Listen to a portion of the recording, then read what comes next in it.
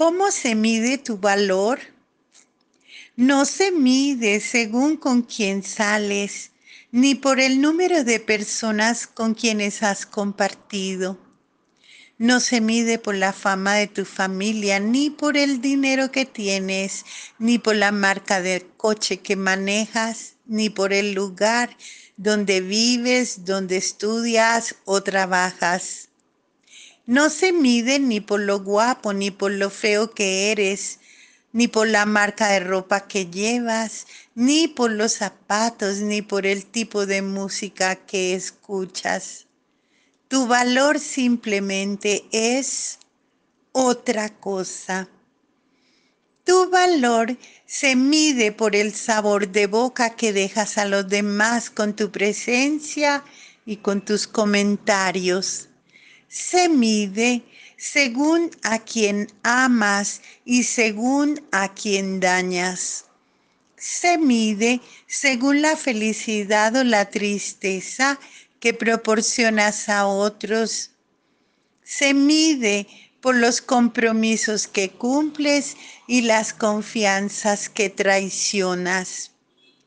Se trata de lo que dice y lo, lo que se dice y lo que se hace, y si esto es dañino o benéfico. Se trata de a quién no le haces caso o ignoras intencionalmente. Se trata de los juicios que formulas y a quién o contra quién haces comentarios negativos. Se trata del amor, el respeto o el resentimiento que llevas dentro de ti y cómo lo cultivas. El no hacer demasiado alarde de lo bueno que hagamos cuando uno sabe su valor. A veces no es necesario decir nada ni firmar todo lo que hacemos para que todos vean Mira, yo lo hice, mira, yo lo escribí, mira, yo soy. Basta con que Dios lo sepa.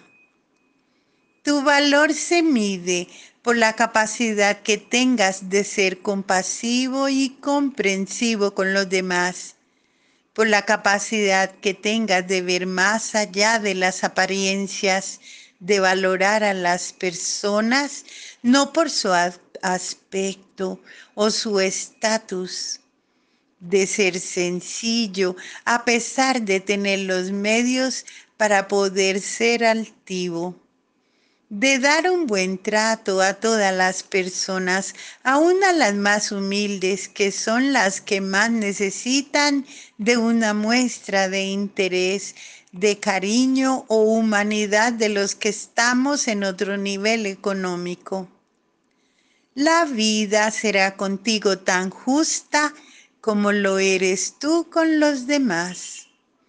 Esto es lo que le da un verdadero valor a tu persona.